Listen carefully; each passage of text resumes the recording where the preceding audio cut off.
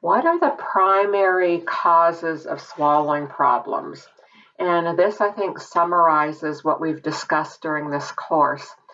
It the number one would be increased resistance to bolus passage due to reduced pharyngeal peristalsis, stricture, other structural abnormalities, and in many patients, reduced lingual propulsion, the necessary push to move material through the neopharynx. So keep that in mind as you're thinking about what are your goals for intervention.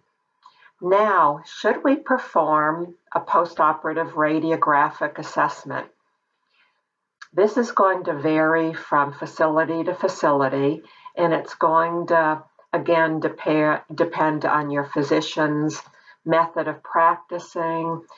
Is there a, uh, a care plan? Is there standard practice of um, working together as a team?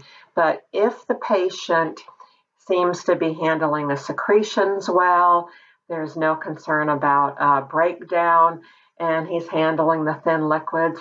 This is probably something that is not needed. Um, give the patient a little bit of time, a tincture of time to heal and start to recover.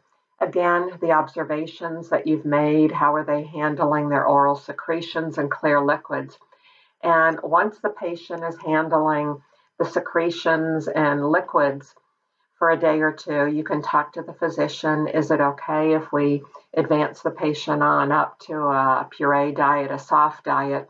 But I do want to emphasize it's very, very important to keep your eyes and ears open and communicate with the physician. Ask him what their plan is document this in the chart. You're working together and you're informing the patient and his or her family. Now, if an instrumental assessment is indicated, let's talk about it. Should it be a barium swallow, um, which incorporates an esophageal leak study, which we're going to discuss, versus our video fluoroscopic swallow study? If the doctor requests a barium swallow, ask him or her what her his hypothesis is. If the patient is having postoperative swallowing problems, you know, you might talk to the physician. Well, I don't know if an uh, a barium swallow is indicated. I think the problem may be swelling up in the hypopharynx we do, do we want to give the patient all that barium to look at the esophagus?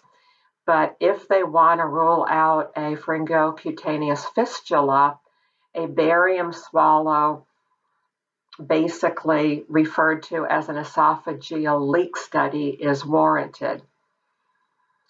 If, again, an esophageal leak study is performed, you can also talk to the physician to see if you can assess the patient for his postoperative swallow function and structure with a little bit of barium, but I'll talk about why we always want to do our video fluoroscopic swallow study after the esophageal leak study.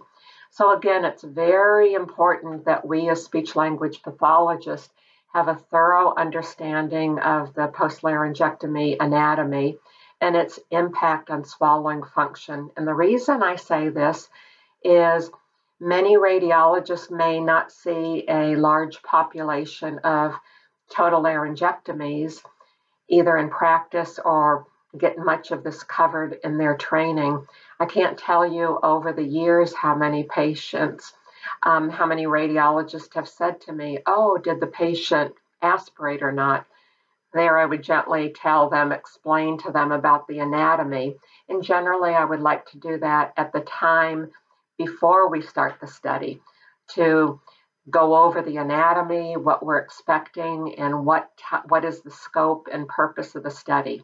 It's not just a regular barium swallow, it's an esophageal leak study. So let's look at that a little bit more closely. So what is an esophageal leak study? It's performed by the radiologist to identify any internal fistula tracts, sinus tracts, um, when the patient has undergone extensive surgery, such as um, they require a wide field laryngectomy or they've had a secondary laryngectomy, or if poor wound healing is suspected. And here in this picture that you can see, this is an AP view. The patient has been given a little contrast, and I'll talk about the contrast that is given in the AP view. And you can see that contrast is extruding through the sinus tract out to the neck. And this would correspond to what we saw in the slide of the patient that had the blue dye coming out their neck. So again, the esophagram leak study is conducted by the radiologist. So I feel it's very important that we're there at the time of the esophageal leak study. We're not going to bill for it, but to make sure that the patient is safe and that the appropriate procedure is being conducted. But I would often, I would always generally talk and discuss with the radiologist what type of contrast is to be used and why we're doing it. So, again, if poor wound healing is suspected or to rule out the sinus tract, it can be part of our postoperative protocol to guide oral intake.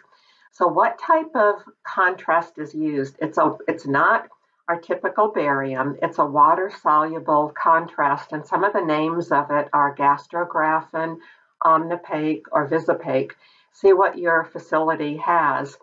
And with this type of contrast, it disperses pretty quickly, um, but it's reabsorbed into the soft tissues of the neck.